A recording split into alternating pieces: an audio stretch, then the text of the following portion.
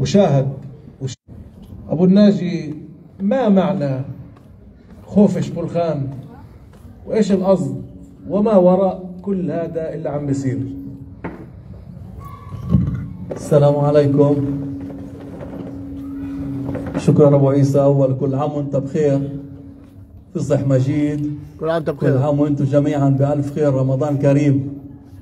إحنا يا جماعة اليوم آه، أول إشي معانا واحد من الشباب اللي تحرروا جديد هذا اللي بدنا نحييه بيناتنا قاعد هون باللد بعد آه، 11 شهر خرج من من السجن. يمكن في عندنا كمان شباب هون من اللد اللي كانوا معنا بالأحداث الأخيرة واللي تحرروا جديد. فأول شيء بدنا نحيي الشباب قبل ما نبدأ. الحمد لله على السلامة. وإن شاء الله على العيد بيكونوا كل الشباب تحرروا بعيدوا ان شاء الله مع أهاليهم. إخواني اللي عماله يصير في المسجد الأقصى واللي صار امبارح كمان في كنيسة القيامة ما في إشي جديد. إسرائيل في عندها سياسة واضحة أعلنت عليها مش إنه إحنا من نتحذر منخمن يمكن آه لا. إسرائيل أعلنت واضح جدا شو اللي بدها إياه. بدها تهويد في القدس كل القدس. طبعا تحدي الأساس من أكبر العقبات موضوع المسجد الأقصى. وفي له أهمية استراتيجية وكبرى كأحد أهم الأماكن المقدسة لكل الإنسانية. طبعا اللي صار برضه امبارح بكنيسة القيامة برضه نفس الشيء. تتخيلوا الناس عندها عيد وجايين في منهم عرب مسيحيين وفي منهم جايين من كل مكان. حواجز كل الطريق من باب الجديد لكنيسة القيم. واعتدوا على رجال الدين وهم واقفين على الحواجز. ومنعوا وفد السفراء والدبلوماسيين. يمشوا زيهم زي بقية الناس. بعدين طلع هذا الشرطي العربي العميل. عميل وأهبل بالشعار الفيديو هذا اللي طلع فضحهم اللي بده يقسم الناس. لمين مسموح ولمين ممنوع. وبلبسوا أنتوا تخيلوا جماعة ناس جاي بتعين انت بتلبسوا اسويره عشان تعرف تميزه قال بتلا... آه. بتلبسوا اسويره عشان بدك تميزه فهاي يعني دولة ما لها علاقة لا بحرية دين ولا بحرية عبادة المسلم اللي جاء على المسجد الأقصى ما في عنده حرية عبادة في دولة إسرائيل. ولا المسيحي اللي جاء على كنيسة القيامة. لمين في حرية عبادة؟ في حرية عبادة لهدول المجانين المتطرفين المستوطنين اللي بده يصلي بالمحل اللي مش لاقي له. مش بس ببيت كنيسة بده يجي يصلي بالمسجد. غصب عن مليار ونص مسلم ويستفز مشاعرهم ويطلع ضد القانون الدولي. هذا له حرية عبادة. هاي هذا التطرف هذا الجنون. إسرائيل بدها تسمي لنا إياه حرية تدين أو حرية عبادة. هاي ناس عنصرية. لهدول المجانين اللي طالع بده يعمل مسيرة أعلام وبده يجي يمشي وين ما هو بده. شو يعني؟ شو هاي مسيرة الأعلام يا جماعة؟ هيدول بدها تحتفل بالاحتلال. ليش عمالة يحتفل؟ جاي يحتفل بالاحتلال. هذول ناس مريضين. هذا له حرية مش بس له حرية. بسبوكاش تحاسبوا تيجي كل قوات الأمن الإسرائيلية تحميه تساعده يقتحم المسجد تساعده يمشي وين ما بده بمسيرة الأعلام تحرض علينا إحنا. وهذا الوضع له مستمر فترة طويلة جدا. في اللد يا جماعة آخر سنة كلها سنة تحريض. ما بتذكر مدينة اللد الجماعة زي ما قلت لكم قبل بعدين زعلوا إنه قلت لكم إيه؟ كنا هون قبل عدة أشهر في مدينة اللد حاولنا نشرح طب ليش كل الزعل هذا باللد ليش كل هالتحريض على شو اللي عملته اللد حمت نفسها اللد أجت ناس من بريت اللي تعتدي على أهل البلد أهل البلد حموا نفسهم. حموا مقدساتهم حموا بيوتهم حموا عائلاتهم. لأنه الشباب اللي توقفوا زعلوا الجماعة. ففي هلا موجة تحريض رهيبة علي. وعلى هاي الموجة يا جماعة طلع قرار أولا في اللجنة الشعبية. لأنه إحنا صرنا قراب جدا من إحياء عام على هبة الكرامة. الهبة اللي اعتلى فيها شهيد عندنا من مدينة الليل موسى حسونة. ومعنا ابوه للشهيد. بدنا نحيي ابوه للشهيد لموسى حسونة. حبيبنا عم أبو اللي في عليه ضغط جبار من يوم ما اعتلى الشهيد. وهي الشرطة وأجهزة الأمن نازلة ضغط على أبو إياه. كأنه هو اللي مسؤول.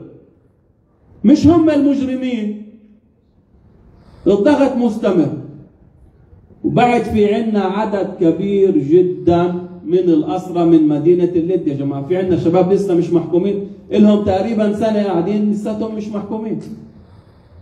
جاء علينا عيد فمهم جدا يا جماعة ما ننسى الأسرى وزيارة عوائل الأسرى في مدينة اللد أولادنا هدول ولا واحد فيهم كان يعمل جريمة. هدول كانوا يعملوا دورهم في حماية البلد. هم اللي وقفوهم هم اللي شرفونا. فمهم جدا ما ننساهم بالعيد يا جماعة. ونزور عائلات الأسرى بمدينة اللد في العيد كمان. على أساس الناس يعرفوا أنه أهل البلد كلها معاهم. طلع قرار كمان في اللجنة الشعبية وكمان في لجنة المتابعة. بالليل ب 14 5 يوم قبل النكبة يوم جمعة. 13 13 آسف. 13 5 يومين قبل الموعد الرسمي للنكبة. ناويين نعمل نشاط قطري في مدينة الليل بالضبط بالنسبة للتفاصيل اللجنة الشعبية رايحة تعمل.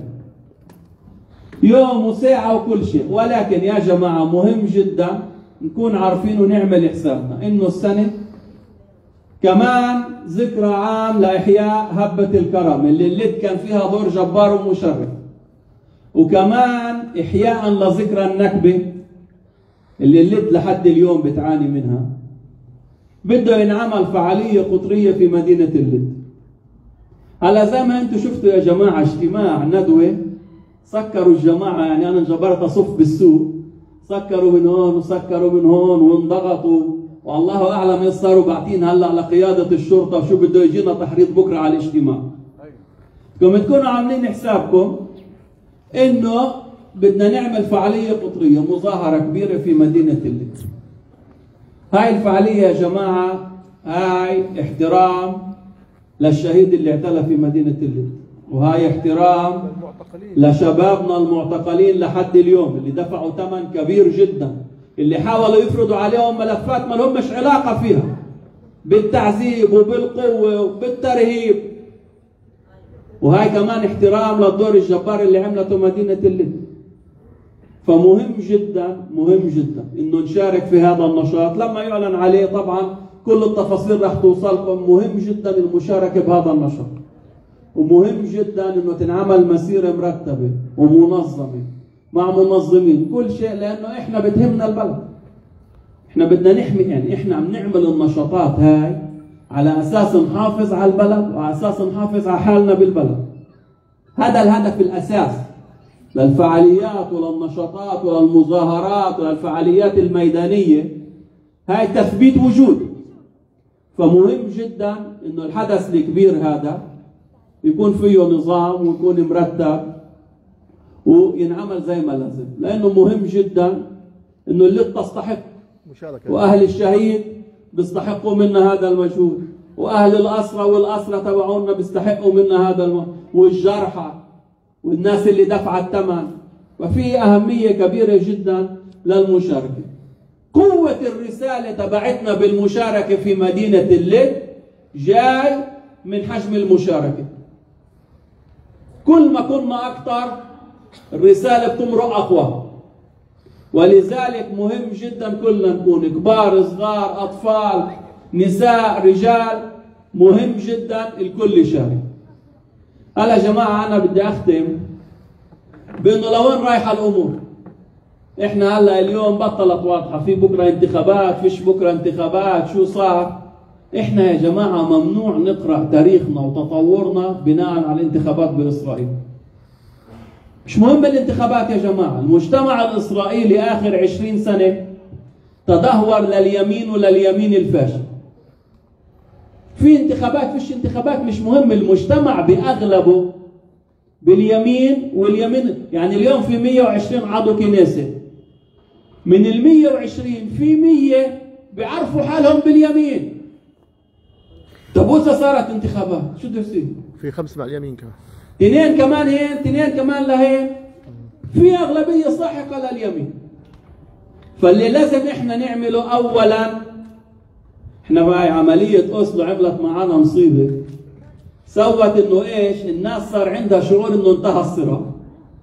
خلص خلصت الأمور والدكتور صابع رقاط الله يرحمه بده يروح يسكر شوية هالتفاصيل أبو رمضان وخلصنا.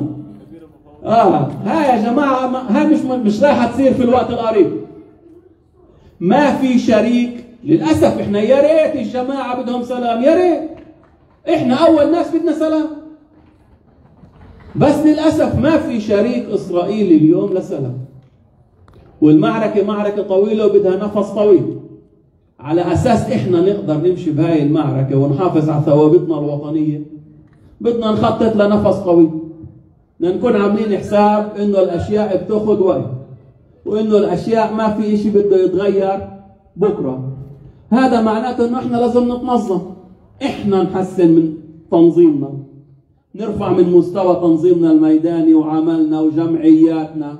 على أساس نقوي مجتمعنا نحافظ على مجتمعنا ندير بالنا على أولادنا ندير بالنا على بلدنا على اللط على الرمل على كل مكان. ونعمل دور كمان على أساس كمان نقدر نعمل دور في خدمة قضيتنا وخدمة شعبنا.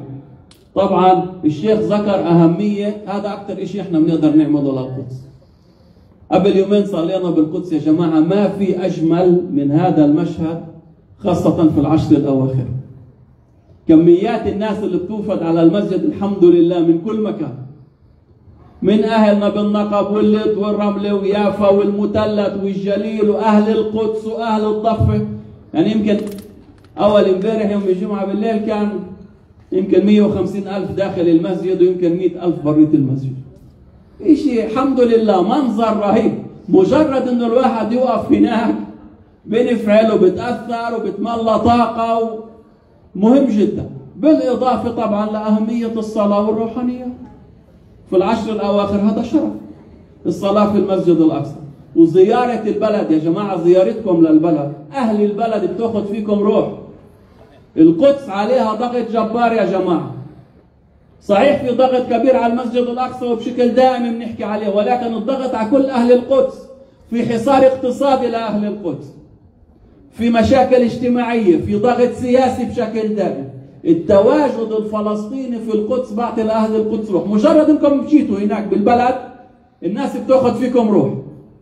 فمهم جدا زيارة القدس مهم جدا زيارة المسجد الأقصى ومهم جدا كمان عندنا بالبلد باللد لما نحيي الذكرى.